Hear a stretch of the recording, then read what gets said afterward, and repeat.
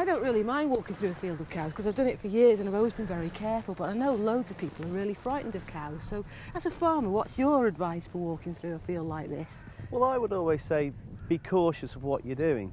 If you walk through them nice and quietly, they shouldn't bother you.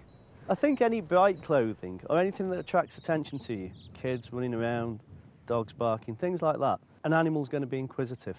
The more you can blend in with the countryside, the more quieter you can be, the more quiet the animals are going to be. Just don't attract attention to yourself. A herd of dairy cows like this generally aren't going to bother you. No. That's not always the case. No, particularly if you've got a dog, I think that's a different issue again, isn't it? I think when you're walking a dog in the countryside, you've got to be very careful.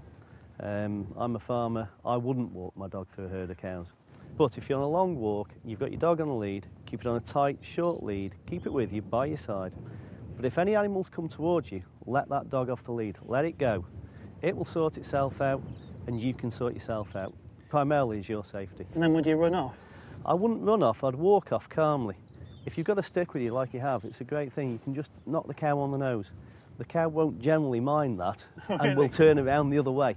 But don't protect your dog. Have you ever had things happen to you then? Yeah, we've. It's with working with animals all the time.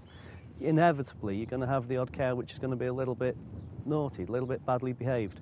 It's normally where there's a calf involved or a freshly calved cow. They're the ones which are a little bit more temperamental. But we generally keep the public away from them. And we do try and make the fields safe where, where the footpaths are. We do in particular. We've got bulls in fields, we've got cows in with them, but we wouldn't put anyone at risk. But you can never, never predict the attitude of an animal. I'm feeling much happier now. Yeah, I think it's been very useful talking to you. Thanks for all that information. Yeah. Should we leave these beautiful cows then to carry on eating? Seem to do a lot of that. I'd be happy if they're eating all the time.